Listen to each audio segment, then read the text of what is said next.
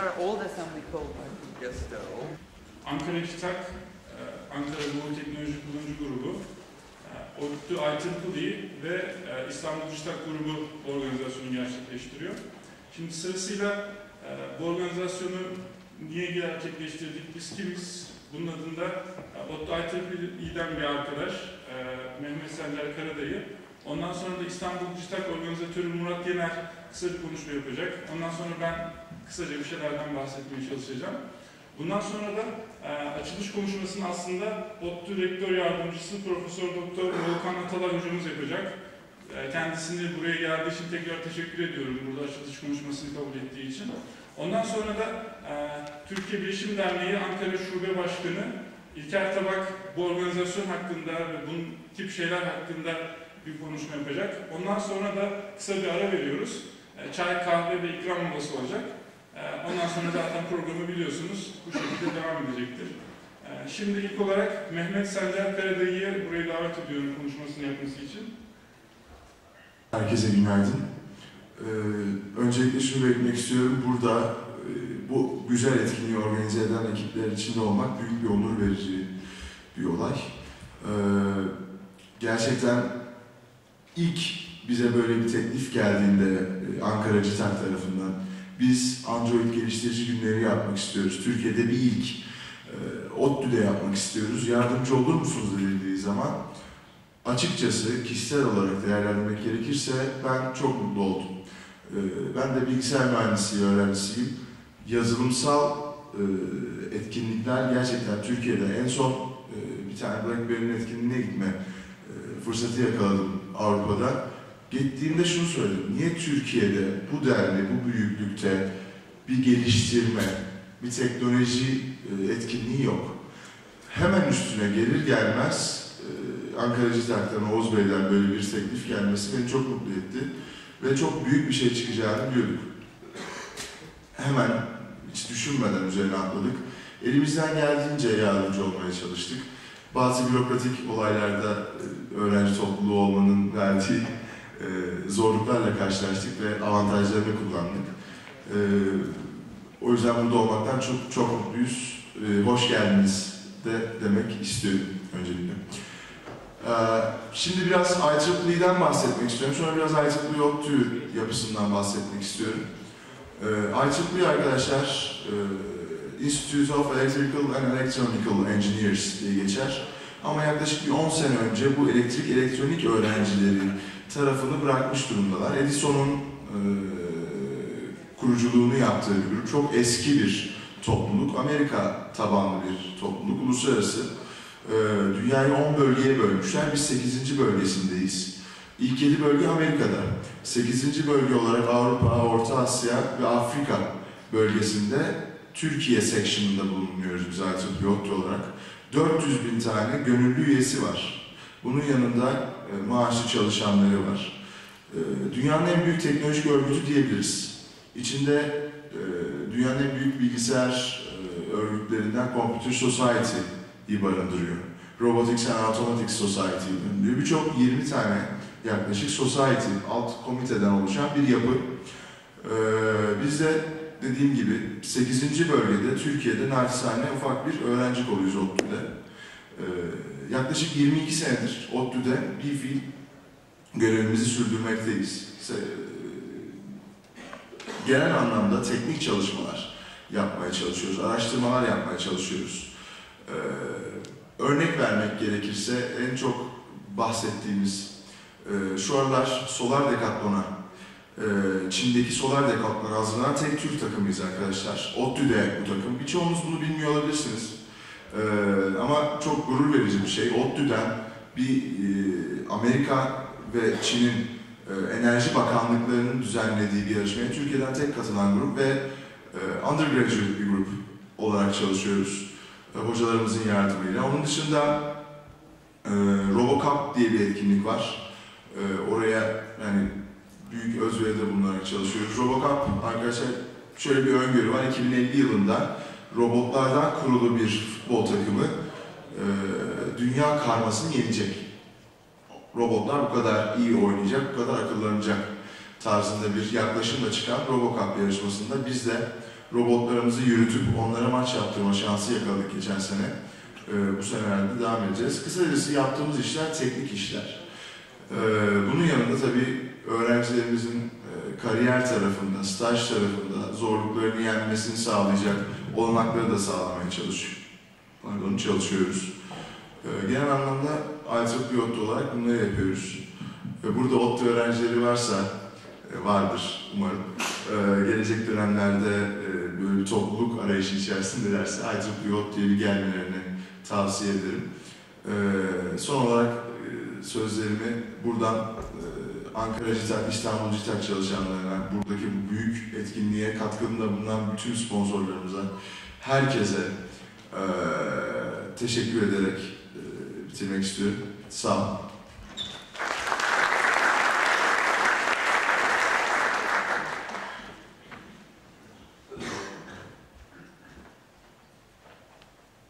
Şimdi İstanbul Uçak Organizatörü Ünlü'ye davet ediyorum.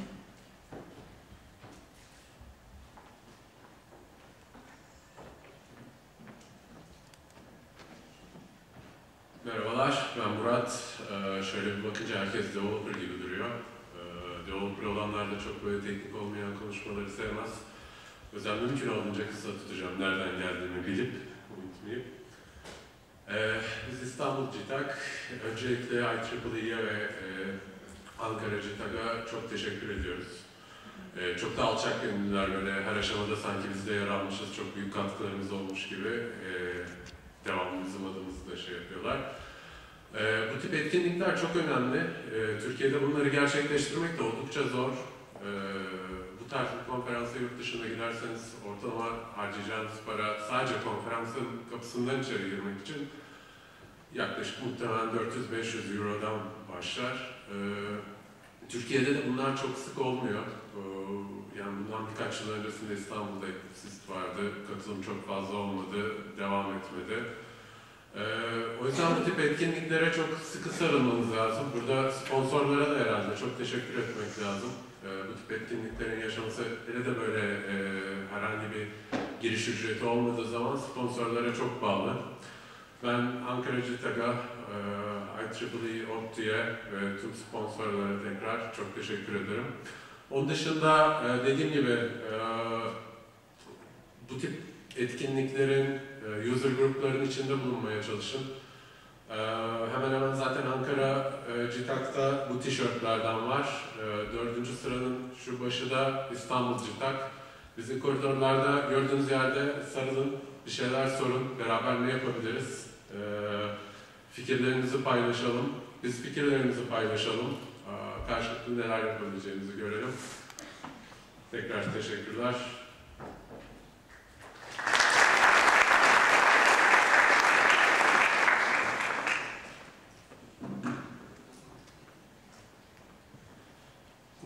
İçin teşekkür ederim ayrıca. Ee, Ben biraz başınızı ağrıtacağım herhalde.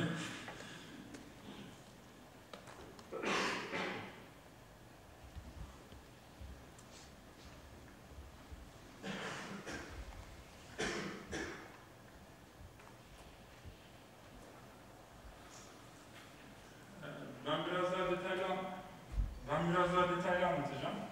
Biz kimiz, neyiz, neden bu organizasyonu yaptık diye. Ee, kısaca bu. Ee, biz kimiz? Bundan bahsedeceğim. Bundan sonra yani genel olarak biz mühendis arkadaşlarız ve topluluk olaylarına çok yakın değiliz. Genel olarak işte oturup ders çalışan arkadaşlarız. Topluluğu yeni icat etmiş gibi aslında bu oluşumu oluşturduk, tekrardan kurduk. Toplulukta nasıl hareket edilir bunun hakkında birkaç bir şey söylemeye çalışacağım. Bundan sonra da neden bu organizasyonu gerçekleştirdik, asıl amacımız nedir? Kısaca bundan bahsedeceğiz. Şimdi aslında resmi tanımımıza baktığımız zaman biz, bizim resmi tanımımız şöyle. Ankara ve çevresinde teknolojiye ilgi duymuş, bir şeyler üretmek ve paylaşmak isteyen insanlardan oluşan bir topluluk. Yani işin resmi tanımı bu. Ama aslında biraz daha detaya inersek, içimizdeki arkadaşların bir kısmı iyi üniversitelerde iyi araştırma görevlileri, e, iyi üniversitelerde okuyan iyi e, öğrenci arkadaşlar, iyi şirketlerde ve iyi kurumlarda çalışan mühendis arkadaşlar var. Yani aslında yani kadroya baktığımız zaman gerçekten iyi bir kadro duruyor, elit bir kadro duruyor. Ee, ama olaya farklı bir taraftan baktığınız zaman da iyi şirketlerde ve iyi kurumlarda çalışan yüzlerce binlerce insan var. Ee, iyi üniversitelerde iyi öğrenci arkadaş bir sürü var. Binlerce, belki on binlerce var. Ee, bizim bu noktada olayımız nedir diye sorarsanız özelliğimiz nedir? Özelliğimiz işte beraber olmaktır. Yani toplu olarak çalışmaktır. Herhangi bir amaç etrafında birleşip e, beraber mesai harcamaktır diyebilirim. Normalde geçen bir, bir yıl oluyor bu organizasyonu, bu topluluğu kuralı. Bir yıl önce konuştuğumuz zaman şunu diyorduk. Bir kişi tek başına ateş olsa ne olabilir ki? Ama görüyorsunuz burada organizasyonda toplam 15-20 kişi çalışıyor belki çok aktif olarak. 15-20 kişinin yaptığı bu şeye bakın. Yani koskocaman bir organizasyon yapıyor. Ee, hatta bunu biraz daha ilerleyen slaytlarda bahsedeceğim. Nasıl daha global bir hale getiririz bundan biraz daha bahsedeceğim. Ee, topluluk. Şimdi ben size bir şey sormak istiyorum. Genelde Türkiye'de bu soruyla çok muhatap olduk. Bu işe girdiğimiz zaman pek çok arkadaşımız topluluk işleri zordur ve bu işe girmeyin dediler. Yani bir noktada bizim motivasyonumuzu da alt üst eden insanlar olmadı değil. Burada ben mesela sorabilir miyim? Türkiye'de topluluk işleri zor mudur? Veya topluluk işleri zorsa neden zordur? Bu konu hakkında düşünce belirtecek arkadaş var mı? Mikrofonu verebilirim. Türkiye'de topluluk işleri zor mudur? Evet. Türkiye'de topluluk işleri bir bakıma zordur. Ee, çünkü gerçekten toplu halde bir iş yapmak insanları zorlayan bir şey. Tek başına bir iş yaparsın, her şeyi sen biliyorsun ama birçok kişiyi bilgilendirmek, onları yönlendirmek, liderlik yapmak biraz e, zor bir meziyet. Onun dışında benim genel olarak üniversitelerde gördüğüm, topluluk işlerini gördüğüm biraz e, öğrenci toplulukları bürokrasi altında eziliyor gibi. Ya da Türkiye'de genele vuracak olursak topluluk işleri bürokrasi altında eziliyor. Ee, bir şeyleri yapmak kolay değil, izinleri almak kolay değil. Ee, o yüzden zor mudur sorusuna zordur diye cevap vereceğim açıkçası. Başka düşünce belirtecek arkadaş yok mu? Destek bekliyorsanız zordur. Para bekliyorsanız zordur. Alkış bekliyorsanız zordur. Ama gönülden yapıyorsanız çok kolaydır. Başka düşünce belirtecek arkadaş? Bir şekilde üniversitelerde toplulukların içerisinde yer almıştır zannediyorum buradaki arkadaşların bir kısmı. Yok mu düşünce belirtecek? Herhalde topluluk faaliyetlerini çok fazla yapmıyoruz. Şimdi e, arkadaşımızın söylediği gibi eğer birilerinden bir şey bekliyorsanız gerçekten zor. İlk önce kendinizin ortaya bir şeyler koyması gerekiyor. Bence bu noktada e, insanlardaki e, kritik bir nokta insanların kendini ön plana çıkarmasıdır diye düşünüyorum ben. E, hatta ben çevirip size şöyle sorayım. E, kaybetmenin adı çok muğlak bir soru aslında bakarsınız ama kaybetmenin adı nedir diye ben kendime sorduğum zaman e, şu son bir yıl içerisinde şunu fark ettim. E, insanlar normalde kendilerini ön plana çıkarmak isterler ne bileyim işte rockstar olmak isterler. Veya ne bileyim en önde görünmek ve aslan payını almak isterler. Bazen de insanlar farkında olmadan az iş yapıp bunun karşılığında çok şey almak isterler. Ya böyle olunca da ne oluyor? Ee, hiç kimse e, buna eyvallah demiyor açıkçası. Yani bir noktada insanlar kendileri az iş yapıp ondan sonra çok şey almaya karşı yap, e, çok şey almak istediklerinde bu kesinlikle olmuyor. Bu şekilde söylersek kaybetmenin adı bence insanların kendi bencilliğidir. Yani kusura bakmayın. Ama bunun aslında da bir çözümü var. Ve insanların ilk planda kendilerini ön plana çıkarmaları söz konusuyken kendileri biraz arka plana çektikleri zaman bu sefer de e, diğer arkadaşları o insanı daha çok ön plana çıkartıyorlar. Ben Burada arkadaşlar beni biraz daha ön plana çıkardılar. Ben biraz da görünen yüzüm bu projede. Ama inanın bu projede arkadaşlar çok ciddi şekilde beraber çalıştılar ve ortaya güzel bir şey çıkardılar. Şimdi paylaşmak ve beraber çalışmaktan bahsedeyim biraz. Normalde paylaşmak e, insana daha çok kazandırıyor bence. Normalde insanlar bir şeyler yaptığı zaman, ortaya kendi başlarına çıkardığı zaman aslan payını kendileri almak istiyor. Böyle olunca da genelde tek başlarına olduğunda da iş olmuyor ve bir şey çıkartamıyorlar. Ama paylaştıkları zaman ve beraber çalıştıkları zaman ortaya gerçekten güzel bir şeyler çıkıyor ve bunu paylaşabiliyorlar. Paylaşmak ve beraber çalışmak. Ee, şunu da söylemek istiyorum ben kısaca. İnsanlar kendileri düşündükleri zaman, herkes kendini düşündüğü zaman herkes kaybediyor. Ama herkes kendi arkadaşını düşündüğü zaman herkes kazanıyor. Yani Küresel ürünler bu aslında çok kısaca da yeni. Belki lise ve üniversite yıllarından beri gördüğüm bir olay var. Ee, insanlar, yurt dışındaki insanlar ortaya bir ürün çıkartıyorlar. Gençler, üniversitedeki insanlar. Ve bu ürün dünyada acayip satılıyor. Çocuklar belki hayatlarını kurtarıyorlar. Benim içimdeki dert acaba neden Türkiye'de hiç böyle insan çıkmıyor veya az insan çıkıyor diye düşünürdüm. Bu noktada acaba düşüncesi olan arkadaş var mı? Türkiye'de neden küresel ürünler çıkmıyor? Ne bileyim mesela Android Market var. Android Market'te neden küresel ürünler pek yok? Genelde bizim olayımız Avrupa'da ve Amerika'da olmuş bir şeyi alıp Türkiye'de kendi insanımıza satmaktır diye düşünüyorum genel olarak. Küresel ürünler neden Türkiye'de çok çıkmaz? Bunun hakkında düşüncesi olan var mı? Mikrofon biraz uzak. Bağlı evet.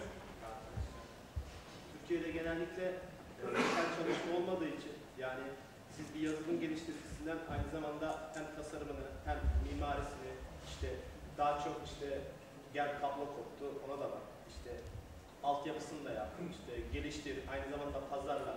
Yani birçok işi aynı anda istediğiniz zaman bu adam lokal çalışamıyor ve yani işinde belki bir numara olacak ve çok mükemmel bir ürün ortaya çıkaracak.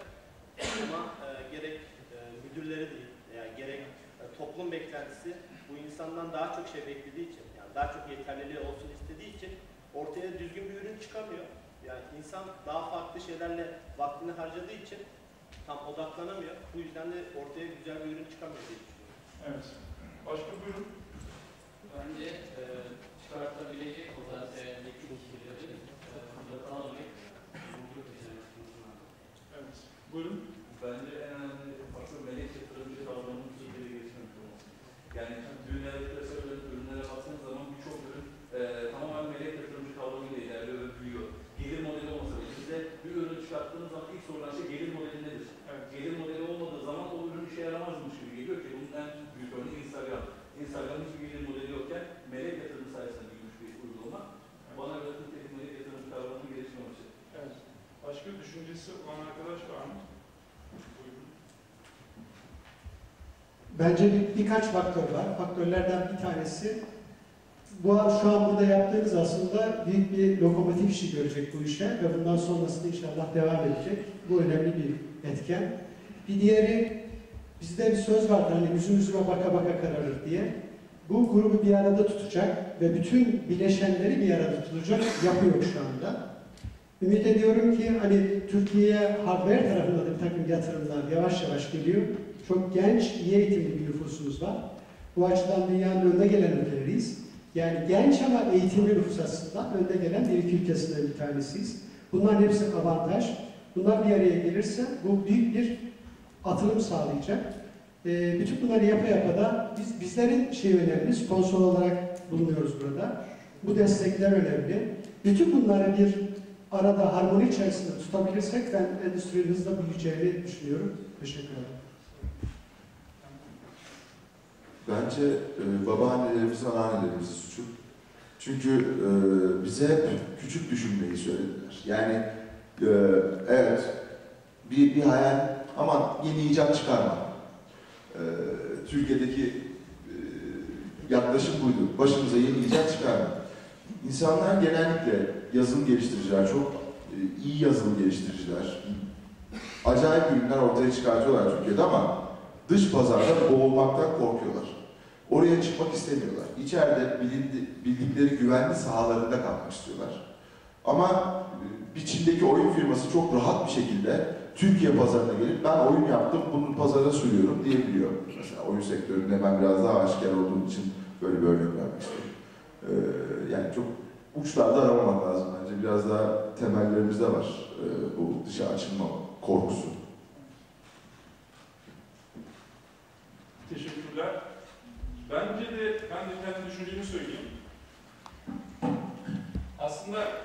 Biz bu organizasyonu ilk, pardon, bu oluşumu ilk yaptığımız zaman ortaya güzel bir şey çıkartalım ve dünyadaki insanlar bunu kullansınlar gibi bir fikir vardı. Yani neden Türkiye'den böyle insanlar çıkmıyor diye düşündüğüm zaman kendi çapımda bir şeyler yapıp Türkiye'den çıkan insanlar adına birisine olmak istedim ama beceremedim. Ama şunu gördüm ben, benim kişisel olarak gördüğüm bir şey. Yani e, asıl problemimiz bence bence bu anlatılan şeylerin ciddi bir kısmı semptom gibi geliyor bana. Kendimize inanmamamız. Yani bazen çalıştık ettik arkadaşlarla falan. Ondan sonra şu sorular geldi veya şu şeyler söylendi bana. Ben hiçbir zaman böyle bir ürün çıkacağı, çıkaracağımıza inanmadım dedi bazı arkadaşlar. Ben de bu arkadaşlara neden dedim. Yani neden küresel ürün çıkartamayız? Neden işte Android markette ne bileyim buradaki insanlar global bir ürün çıkartıp da orada milyonlarca defa indirilmez. Yani bunun gerekçesi nedir ki? Ee, geçen bir toplantıya katıldığımız zaman Türkiye'de neden Instagram çıkmaz dediklerinde o kadar hosting yapacak bir firma yok demişlerdi. Bu sadece bir semptom bence yani. İstedikten sonra yurt dışından hosting alınır. Ben basit bir hosting ücretimi gidiyorum Blue Host'tan alıyorum ve bir sürü bu şekilde hizmet veren firma var yani. Bence asıl problem burada bizim kendimize güven duymamız diye düşünüyorum.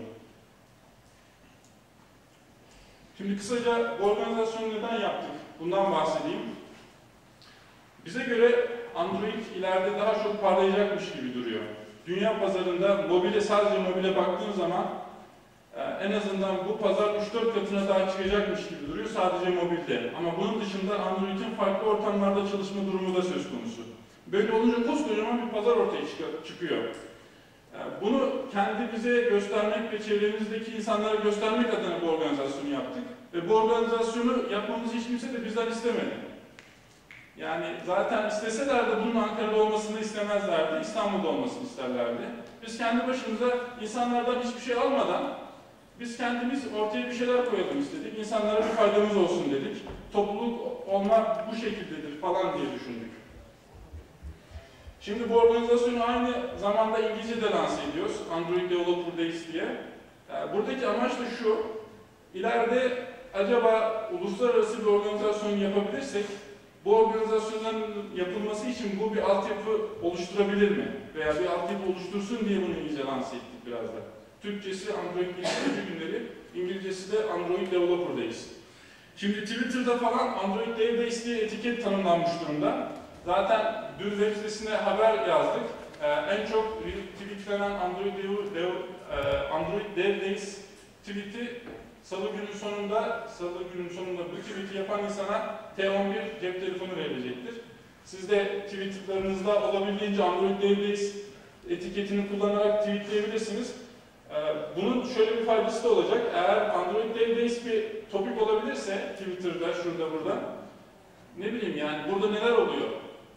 Bu insanlar neler yapmışlar gibi bu organizasyonu belki yurt dışında, Türkiye'de de böyle şeyler yapılıyormuş gibi gösterebiliriz. Tabii bundan sonrası size kalmış bir durum. Buradan organizatör arkadaşlara tekrar teşekkür ediyorum.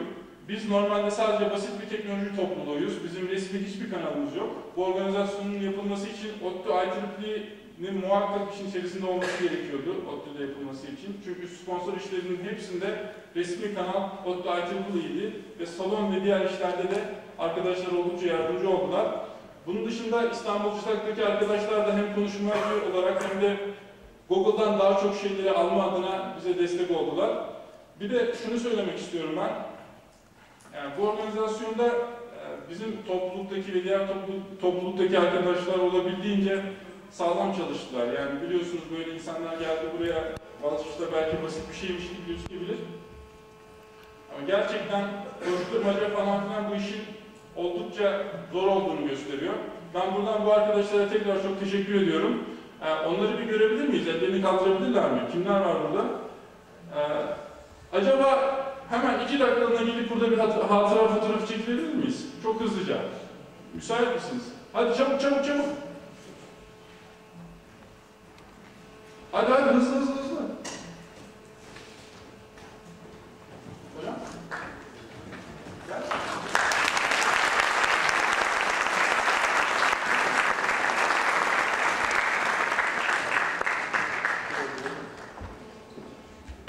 Tek tişörtsüz olarak arkadaşlar.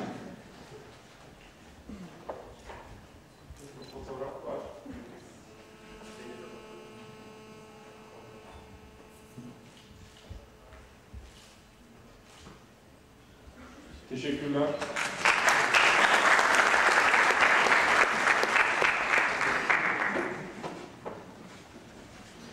Eğer siz de bir topluluk içerisinde yer almak istiyorsanız, bir şeyler yapmak ve ortaya bir şeyler çıkarmak istiyorsanız, çok fazla bir beklentiniz yoksa da başka insanlardan, e, arkadaşımızın söylediği gibi, sizi Google Teknoloji Grubu, Ankara Google Teknoloji Grubu'na davet ediyorum. Zaten çıkıştan sonra oldukça çok konuşuruz. Bu tişörtü giyen tüm arkadaşlar size yardımcı olurlar bu noktada. Ee, bu etkinliğe geldiğiniz için hem size hem sponsorlara, tüm katılımcılara tekrar teşekkür ediyorum.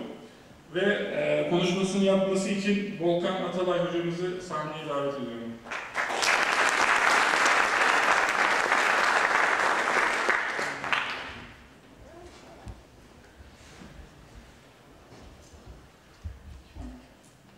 Ee, konuşmadan önce ben hemen bir duyuru yapayım.